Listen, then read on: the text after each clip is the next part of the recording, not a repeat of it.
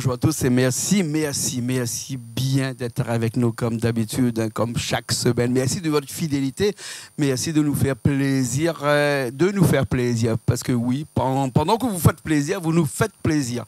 Dans cette émission Zigzag aujourd'hui, on va se faire plaisir aussi. On va parler, et il paraît de- du meilleur compagnon, meilleur ami de l'homme, hein, eh ben le chien. Oui, parce que on va parler. C'est une histoire de chien. Eh ben, c'est pas parce que la pluie tombe, hein, parce que généralement quand il pleut, on dit que eh ben, ouais, c'est un temps de chien. Oui, mais aujourd'hui c'est pas un temps de chien, même s'il pleut.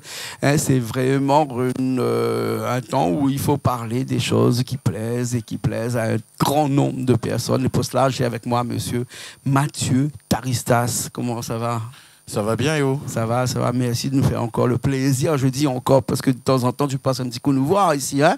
Cause créole cause français, ou bien les deux? Un petit peu. Cause des deux, on peut même cause anglais, euh, si on veut. If you want, it's not a problem for me. Hein, euh, but, euh, Aujourd'hui, nous, c'est à cause de ce chien que nous voit aussi un petit peu là. Richard, fais-nous un petit gros plan. Voilà, merci Richard.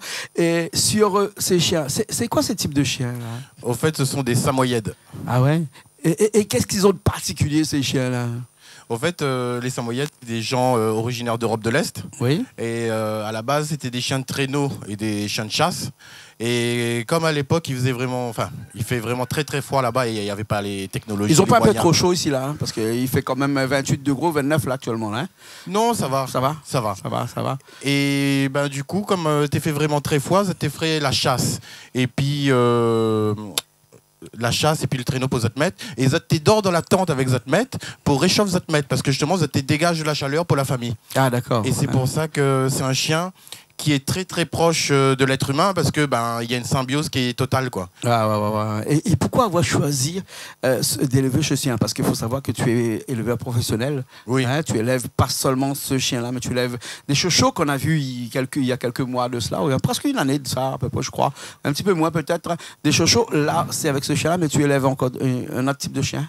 J'élève aussi des dogs du Tibet. Doc de Tibet. Ouais. Ah ouais. Pourquoi avoir choisi ce chien-là en particulier? Bah, en fait, en réalité, ce chien-là, je ne l'avais pas choisi parce qu'en fait, j'avais euh, besoin d'acheter des dogs du Tibet sur La Réunion. Et il y avait un éleveur qui faisait dogs du Tibet et samoyède et il avait besoin de vendre son élevage parce Ouais, qu'il ouais. devait s'installer en métropole. Ben, du coup, ben, moi, la rachète son élevage et du coup, ben, prend les samoyèdes avec. Ah ouais, ouais. Tente le coup et du coup, moi, elle est très heureux parce que Miko passe, il a au. Là, il voit, voilà, si Richard fait nous un gros plan, voilà, on voit, on voit le petit là qui est juste, voilà, merci Richard, euh, sous, sous, sous sa maman. C'est ça, c'est sa maman. Ah ouais. Ouais. Et, et- et tu as des naissances comme ça un petit peu souvent, comme ça, là Euh, bah, en fait, là, c'est la première naissance. Première naissance Ah ouais. Ouais. Ouais. Est-ce que c'est une activité rentable Euh, Je m'explique. Hein, tu élèves des chiens. Généralement, un éleveur professionnel élève des chiens pour les revendre dans des animaleries, par Mhm. exemple, ou bien même en particulier. Mhm. Est-ce que c'est une activité qui peut faire en sorte qu'on gagne sa vie correctement? Oui, mais après, euh, je conseillerais de ne pas faire que de l'élevage. Il faut avoir euh, d'autres activités à côté parce que l'élevage, euh, c'est pas, euh, c'est pas une science exacte, au fait. Mhm. C'est-à-dire qu'il y a les chiens qui peuvent tomber malades, il y a le chiot lorsqu'il naît qui peut mourir.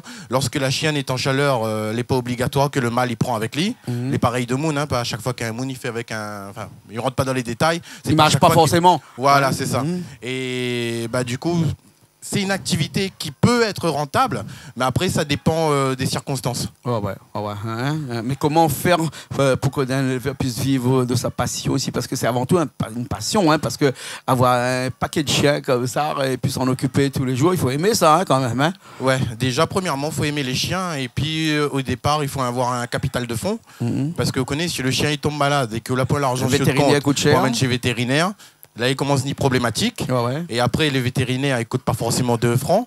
C'est pour ça que hum, si une personne n'a pas beaucoup de fonds de trésorerie, mais il conseillerait pas lui de faire de l'élevage de chiens, en fait. Ouais, ouais, ouais, ouais, ouais. Mais Et- on a, on a choisi trois types de chiens? Est-ce que ces chiens-là sont des chiens qui plaisent euh, aux Réunionnais en particulier, ou en tout cas les gens qui sont installés ici à La Réunion?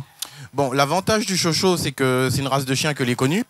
Donc euh, oui, il y a beaucoup de chiens recherchés à La Réunion. Le samoyède les recherchait, mais comme l'avait point d'éleveur de samoyède, il avait juste un éleveur. C'est ça, qui me la rachète son élevage là. Ouais. Euh, ça, ça part plutôt bien. Mais Mhm. c'est juste le fait que c'est pas encore très connu. D'accord. Mais sinon, c'est un chien qui part euh, super rapidement parce que là, Mikopa, si vous voit à la caméra là, Oui. c'est un chien quand même qui est très beau. Et Mikopa, si vous l'a remarqué, il rigole tout le temps. Ah Quand ouais il regarde à où, on a l'impression de rire. Ah ouais, et ouais, c'est un chien qui est tout le temps heureux. Là, là même là, il regarde euh, la caméra sur le retour dessus nous là. Ouais, c'est, ben, il est toujours souriant, il est toujours heureux. C'est un chien qui est très affectueux et euh, non, c'est assez des chiens qui, qui marchent bien. Par contre, maintenant le dog du Tibet et que là un chien de garde, c'est un chien euh, quand même qui peut peser 80 kilos. Et Ah ouais, c'est un monstre ça, hein, 80 kilos. Hein. Voilà. Et, Costaud, comme, hein ouais. et comme ils mettent à lit debout sur pied, comme il dit ou debout sur pied là, c'est-à-dire que fait lève, saut de pattes, le chien est plus grand que moi. Ah ouais. Donc un monde, s'il il vit dans un appartement avec un chien commun, il pense qu'il est un peu problématique. Ouais, ouais, ouais. Mais ici, bon, euh, 80% des gens habitent dans des maisons, donc euh, du coup, c'est plus accessible. Mais je veux dire, mais euh, ces chiens-là qu'on vend, par exemple, à quel moment on vend ce chien-là? Parce que là, euh, merci Richard, nous voit le petit chiot euh, qui, est, qui, qui est à côté de toi. Là. Il a quel âge, ce petit chiot-là? Il a un mois et demi. Un mois et demi. Et, et- et il, est vendable euh, euh, à, à combien de mois? À partir de deux mois et demi. Deux mois et demi, on peut le vendre. hein? Ouais. Et bon, il est un petit peu Euh, déraciné parce qu'on va l'enlever de sa famille, de, sa- de sa maman, bien sûr. Mais bon, Ah non, Ah, sa maman est là. hein. sa maman est là, mais, mais- mais quand tu vas le vendre, tu vends pas la maman avec. Mais euh, euh, ça cause pas un problème d'éthique euh, vis-à-vis l'éleveur. Il, il, il connaît ça, il n'y a pas de problème. Non, mais en fait, pourquoi on dit que généralement ils vendent un chien à deux mois et demi? De toute façon, c'est la législation française que les communs. Dans, le- dans la France, quand c'est euh, de métropole à Réunion en France, c'est deux mois et demi. Mais par contre, lorsqu'on parle de l'Union européenne, il faut que le chien il ait trois mois parce qu'il faut faire le vaccin antirabique. Mais ici, euh, en France, c'est pas obligé de faire le vaccin antirabique. Et à deux mois et demi, il est sevré. Sevré, il veut dire que ben, il a plus besoin de prendre de lait son maman. Ah Et donc, en termes de, on va dire, euh, de l'histoire de la vie, euh, Ouais, l'histoire naturelle, ben, il a plus besoin de son moment. C'est le moment. Il est sevré, comme on dit. Voilà, Hein c'est le moment pour lui d'avoir une nouvelle famille quoi, et d'avoir une nouvelle vie. Bien sûr. hein. Alors peut-être peut-être une question qui fâche un petit peu, Mathieu. Hein, euh, ah, t'as, vu les, légu- les- les fruits qu'on a? On a un panier de fruits aujourd'hui là, parce que aujourd'hui on est on est, dans un mode un petit peu plus floral, fruité. ça va? C'est, pas mauvais, hein Regarde. Oui, c'est beau, ça, ça- ça- ça donne une petite impression la de Caraïbes. Voilà, des Caraïbes, ouais, exactement, parce qu'on reçoit tout à l'heure euh, des artistes de, de la Caraïbe qui viennent, euh, même si la pluie tombe, ma partie dans, la- dans, dans le jardin, tout là-bas pour les Rolsa. Vous la sortez sous la pluie alors Ben, ça- ça- ça- tout ça, c'était une petite transition juste pour parler de quelque chose qui fâche, tu comprends? Alors. Hein, Le prix. Ah, le prix. Le prix d'un petit chien comme ça, euh, combien ça coûte Euh, en fait, un chien commun, il coûte 1200 euros. 1200. Ah ben, c'est un budget quand même. Hein Mais ce 1200 qu'il faut euros. savoir, c'est que bon, les premiers éleveurs de Samoyed, que la, les- à La Réunion, ben, on a payé quand même le chien euh, 1800, 2000 euros en France pour faire venir La Réunion. ouais. Donc euh, 1200 euros, c'est un, un prix euh, plus qu'honnête. quoi. D'accord, d'accord. Et, et- et une maman euh, savoyenne comme ça, savoyenne, non? Samoyed. Sa moyenne. Hein? Ouais. Euh, elle fait combien de petits parents à peu près? En fait, euh, ça peut aller euh, de 1 à 10. Ah bon? Ouais. Ah ouais, ouais. Et là, moi, elle a eu 6. Ah ouais, donc c'est la bouteille de champagne que tu as fait péter lorsque ça, ils ont accouché les six là. Parce Oui. que c'est bingo là, non? Bingo, euh, oui et non, parce que. Parce que dans trois mois, dans trois mois, dans trois mois, euh, ben, tu as 7 à 8 000 euros là. Vous calculez un tas, ouais. C'est mon métier. non mais fran- franchement, il y, des- y a des fois ça marche et puis des, des fois franchement où ça marche pas. Justement, c'est là où moi tu voulais en venir. Parce que, bon, lorsqu'on parle de 7 ou 8 000 euros, il paraît être une grosse somme. Mais quand de haute poche Ça c'est une maman, mais t'en Une as pas qu'une maman, t'as pas qu'une maman. Non. Ouais. Mais après, on connaît, quand d'autres poches personnelles, on a fait une sorte euh, de trésorerie à sans jamais avoir rien gagné, plus de 10 000 euros en frais de vétérinaire. Bon, on va dire que 7 000 euros, c'est pour rattraper l'argent que vous l'a perdu. Et après, peut-être, euh, on aura un rattrapage après. Mais après, comme il dit, l'élevage, euh, c'est pas une science exacte parce que, bon, à n'importe quel moment, ben, là, il peut avoir une maladie. Que même si on emmène chez vétérinaire, que peut-être il peut pas soigner et le chien il meurt, Ah ou même les bébés là, bon là il est en bonne santé, ça va, tout va bien, mais il connaît pas que ça il peut arriver à lui, euh, Bien sûr. ouais. c'est du vivant. Ouais, bien sûr. Dans trois mois, tu trouveras quelqu'un facilement pour la pour l'acheter. Oui, oui, oui. Ouais. Si c'est pas si c'est pas pour vendre de monde directement, mais ils peuvent vendre à des animaleries euh, avec qui ils travaillent déjà, là pas de souci là-dessus. Il n'y a pas de souci. Ouais. Hein, hein, hein. Donc, pour- au niveau de commercial, euh, il n'y a pas de problème. là. Ça se vend, c'est des chiens que- qui sont recherchés. Il y a plus de demandes que, que d'offres euh, de ces chiens-là? Oui. Mhm. Oui, oui. Enfin, m'irai pas, m'irai pas jusqu'à dire en a plus que de demandes que d'offres, mais, mais ça se vend. Ah ouais. C'est pas une race de chien que les compliqués à vendre, quoi. D'accord, d'accord, d'accord. Et c'est pour ça que tout à l'heure, là, Mathieu, tu me disais que euh, pour, euh, pour vivre de, de- de ces élevages de chiens-là, c'est presque pas possible, hein, parce qu'il faut trouver une activité à côté. Toi, tu as d'autres activités à côté. On te connaît bien depuis longtemps ici, parce que euh, tu as ramené un petit peu le Bitcoin ici à La Réunion, c'est ça hein? Ouais. Ouais, et puis après, tu as une activité aussi qui, qui commence, là, c'est juste pour faire une transition entre euh, l'élevage et puis cette autre activité, c'est euh, la T, euh, Réunion TV, comment ça s'appelle ça La, la- la- la Réunion TV. la Réunion TV, voilà, Et- c'est site d'information. Exactement. D'ailleurs, il y en a un truc que m'avait oublié Diao, c'est que dans le chien, là, mais il fait pas que l'élevage, avant de faire la transition, excusez-moi. Ouais, C'est vas-y. c'est de ma faute à moi, elle m'a pas percuté avant. Mhm. C'est que il fait aussi pension canine. C'est-à-dire Pension canine, en fait, c'est lorsque les gens, par exemple, ont besoin d'aller en voyage à l'île Maurice ou en métropole, ben, ils ne connaissent pas où ça mettre votre chien, ben, ils veillent le chien de monde. C'est un, Ah bon? c'est Ouais. un petit hôtel pour chiens, quoi. Ouais, ouais. Et après, ils vendent aussi de la nourriture pour chiens, mais ils vendent euh, des carcasses de viande de poulet. Ouais. En fait, c'est du, on appelle ça menu barf. Ah en fait, c'est de la viande crue qu'on donne aux chiens. D'accord. Tu, me- ils- tu me disais euh, dernièrement, quand tu es passé chez moi un petit coup au bureau là-bas, juste pour préparer l'émission, tu me disais que euh, il est préférable de donner de la viande crue euh, aux chiens que de la viande cuite. Pourquoi? Ben déjà, ouais, les carcasses de poulet là, cuire à lit. Lorsque les gens va manger, euh, Les- lorsque- non pas les gens, les, euh, gens, les les, chiens. les chiens. Oui, Ouais, pardon, les chiens, chiens. C'est un lapsus révélateur. bravo. Ah oui, sûrement. excusez-moi. Lorsque les chiens vont manger la, car- la carcasse que les cuits, le zoo il devient plus dur il en a un risque de perforation de l'estomac. Ah bon, d'accord. Or que quand la carcasse est crue, ben euh, ça se fait tout seul, euh, la, la digestion elle est meilleure et il y a plus de vitamines Ouais, pour ouais. le poil du chien. Après, il y en a cette légende à la Réunion, il dit oh, comment là, si on donne la viande crue au chien, ils rendent le chien voleur. Bon, en fin de compte, ça n'a rien à mythe, voir. ça. C'est un mythe, c'est un mythe. C'est un peu, excusez-moi, mais il veut continuer dans, le, dans, dans les exemples. À La Réunion, il dit au Komala, cochon d'Inde, euh, il tue le rat. C'est-à-dire cochon d'Inde, le- il est là pour veiller le rat, tue le rat, s'il en a un lapin, or qu'il n'est pas du tout Euh, non, pas vrai du tout ça. Un cochon d'Inde, c'est un herbivore, mais il voit pas que c'est un herbivore, il ça fait face à un carnivore. Ouais, ouais. ouais, Vous comprenez, c'est des logiques communes à des gens, ils appellent ça les croyances populaires. Et souvent, les gens, ils croient en des choses que n'est pas forcément vraies. Ouais, ouais, ouais, ouais, ouais, ouais, ouais, voilà, voilà. Et- Transition faite. Alors, on va parler un petit peu de la Réunion TV. Oui. Voilà, hein, la Réunion TV, un site d'information, parce qu'il nous reste 5 minutes. C'est ça. Voilà. Donc c'est un site d'information euh, où on en a toutes les actualités du jour. Euh, on en a des journalistes qui travaillent dessus 24 heures sur 24. Et on en a toutes les infos euh, bah, qui arrivent très rapidement. quoi. Ouais, ouais, ouais. ouais. Hein, Je pense que ça doit être le troisième média sur Internet à La Réunion, non? Ouais, Sans a- citer le nom des concurrents. Alors non, on va les citer. Il y a Info 974 euh, qu'on connaît bien en termes de médias. Il y a euh, Antenne Réunion, euh, L'info.re. L'info.re qui est aussi un site d'information. Il y a Click à nous. Click à nous aussi qui est un site d'information. Il y a, quelques-uns. Il y a au moins. franchement, j'ai compté. Il y a au moins une dizaine.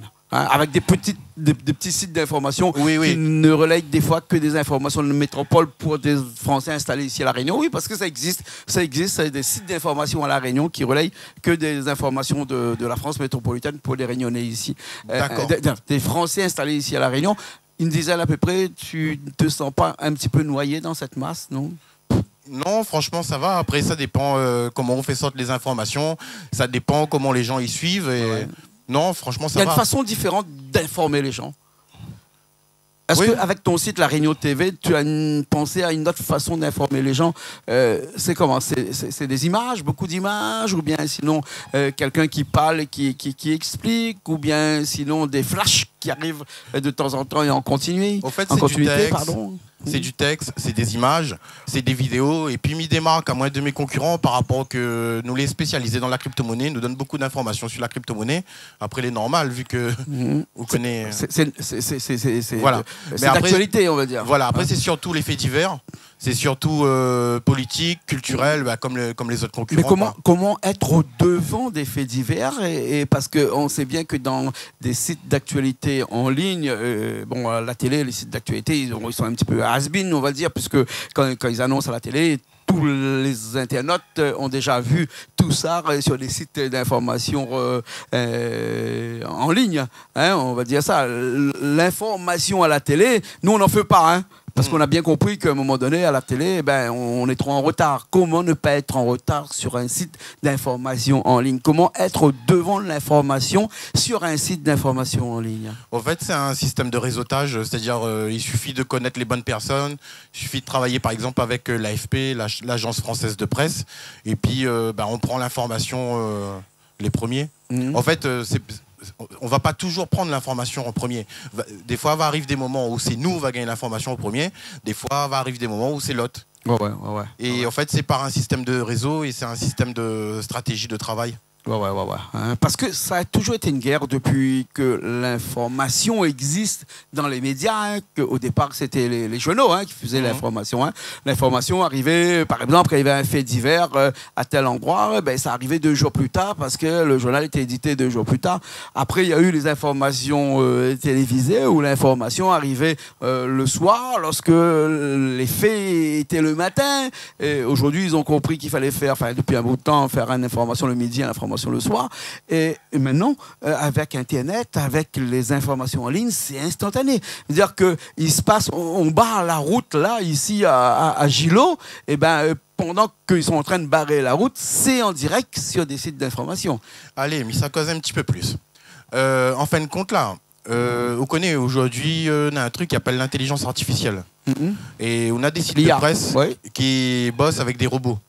Et en fait, euh, bah, c'est des robots qui détectent et qui t'envoient le signal, et les journalistes ils reçoivent le, signal et puis ils font l'article. Ouais, ouais, ouais. Après, euh, ça dépend quel robot le plus performant. euh. ouais.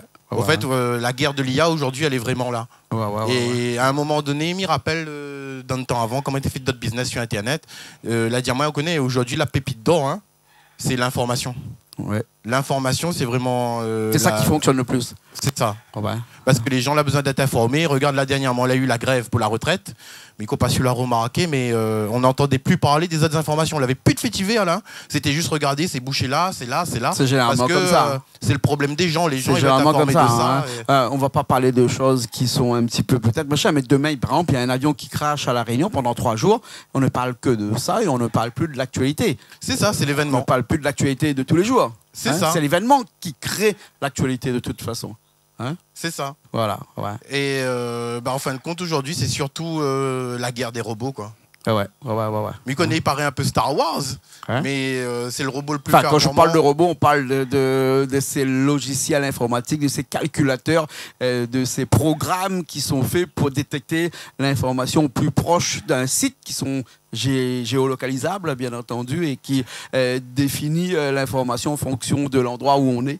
Hein, qui peut envoyer, moi je suis ici, l'information qui m'intéresse, c'est à 10 km autour de moi, et ben lui, ce robot-là, il va m'envoyer l'information euh, pour moi, et non pas pour quelqu'un qui se trouve à 10 000 km, ou bien sinon même euh, à Saint-Pierre, par exemple, où on est à 80 km plus loin. hein. C'est ça. Et après, quand on a des, vraiment des informations internationales, que les vraiment trop énormes, Mm. bah, le robot, lui, il faut avouer un petit peu la pression pour dire que regarde ça, c'est vraiment important, il faudrait ouais, peut-être ouais, travailler là-dessus. hein. La Réunion TV, comment on fait pour aller sur la Réunion TV Ben, en fin de compte, il suffit que vous êtes ça sur Internet, sur Google. Et par contre, écoute bien cette mise à dire, hein, parce que pour le moment, nous, on est en train de faire l'indexation. Il faut bien taper La Réunion TV, tout collé. La Réunion TV, tout collé, c'est-à-dire La Réunion TV, tout collé ensemble. C'est www.lareuniontv.com. Les bons, oula, c'est dit. Ben, là, si, comment expliquer, Alors, Dominique en- comprend en, pas en là. Fait, en fait, il paraît que pour faire entrer dans la tête des gens, il faut le dire en plusieurs fois. Tu as tout compris, toi Oui, Voilà, exactement. hein. La Réunion TV, arrobase. arrobase. Euh, non, Non, la réunion-tv.com. À moins voilà, notre déconner, mais donne l'adresse mail, moi, STR. Ouais, ouais, voilà, Excusez-moi. hein. exactement. Merci bien, Mathieu, Mathieu Taristas, d'être avec nous aujourd'hui, de nous avoir fait découvrir euh, ces races de chiens qui. Tu, tu- tu es le seul ici à élever ces races de chiens, mais il y en a plusieurs? Oui, oui, pour le moment, moi, il est le seul. Pour- voilà. En tant qu'éleveur déclaré, hein. Ah, ouais, ouais, ouais, ouais. Parce que peut-être que d'autres élevages non déclarés, il fait aussi. Ah oui, oui, parce que nous pas parlé, mais il y a des élevages un petit peu plus, euh, on va dire sauvages ou bien. euh, si, sauvages, oui, élevage sauvage, ouais. Hein Mais on plairait pas ce terme, il fait un peu sauvage. Non, mais le le au tribunal dit comme ça, moi je dis comme ça, hein. euh, on répète tous Oui, mais après, on connaît en même temps, on n'est pas très équitable pour les éleveurs, qu'il fait les hein. déclarations. Clandestin alors. Ouais, on dira ça comme ça. Voilà, ben les bon alors. Après, on dira que c'est des gens, des particuliers qui sont passionnés de chiens aussi. Après, Ouais, ouais. on ne connaît pas. Mm, mm. Bref, en tout cas, l'élevage officiel de Samoyed, le seul, pour le moment, c'est moi. D'accord, comment il fait pour Si on a Euh, besoin d'un chien? Donc, pour contact à moi, c'est 06 93 47 98 68. On est bon. Ou sinon sur Facebook, c'est Jean Mathieu. Mathieu, juste un T et un H. Jean Mathieu Taristas. T-A-R-I-S-T-A-S. Voilà, ok. Merci bien. Hein? Merci bien, Mathieu. C'est moi, remercie à vous. Hein, nous retrouvons une prochaine fois alors. Merci. C'est bon Allez, ben nous nous retrouvons la prochaine fois aussi dans une autre émission Zigzag, émission culturelle où on peut parler énormément de choses, du bitcoin, euh, de l'information, des chiens. Enfin bref, on va parler tout à l'heure avec des gens qui sont là déjà et qui vont arriver dans un instant euh, de la religion aussi. On va parler de, de- de- des artistes euh, de l'océan Indien et des artistes des Antilles aussi tout à l'heure. Bref, Canal Austral, c'est une variété d'émissions qu'on peut recevoir, écouter, regarder et surtout apprécier chaque semaine. Merci bien. Merci à Richard qui est de la technique comme d'habitude. Nous on se retrouve la semaine prochaine dans une nouvelle émission Zigzag, bien sûr, sur Canal Austral. Hey.